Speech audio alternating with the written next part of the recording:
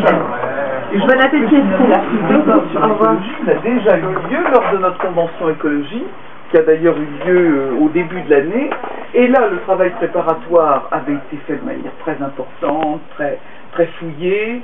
Euh, tout au long de ces conventions, dont la convention écologie, 10 000 participants qui ont discuté, 150 parlementaires, 700 experts. D'ailleurs, à notre convention écologie, Nicolas Hulot était venu mmh. débattre, Yann Arthus Bertrand, j'avais moi-même fait une communication sur la gouvernance internationale. Moi, je trouve que le débat avait déjà eu lieu le débat Honnêtement, Les réunions sont toujours utiles.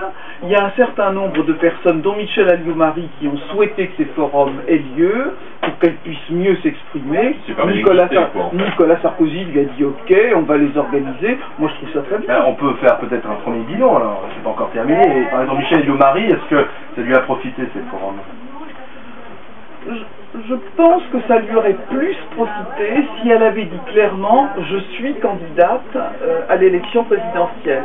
Elle a certainement parti dans ces forums d'une position un peu ambiguë, c'est-à-dire d'avoir une position privilégiée de candidate virtuelle tout en n'étant pas candidate réelle. Et ça a amputé sa démarche de crédibilité. Donc je pense pas que ça a été une très bonne opération pour elle, mais nous verrons bien après le dernier débat. Mais sincèrement, peut-on exister aujourd'hui à l'UMP euh, à côté de Nicolas Sarkozy? J'ai l'impression d'exister, oui. Oui, parce que vous êtes sarkozyste. Alors je repose ma question, peut-on exister à l'UMP si on n'est pas sarkozyste Oui, on peut exister en n'étant pas sarkozyste, mais il est, il est très réel que Nicolas Sarkozy euh, recueille une extraordinaire majorité euh, de nos militants, cela, il se l'est gagné tout seul par ses capacités, par sa volonté, par sa force de conviction. Vous savez, quand Nicolas Sarkozy est devenu président du UMP, personne ne lui a donné la présidence, et pour tout vous dire, il n'était même sans doute pas le candidat que certains auraient souhaité.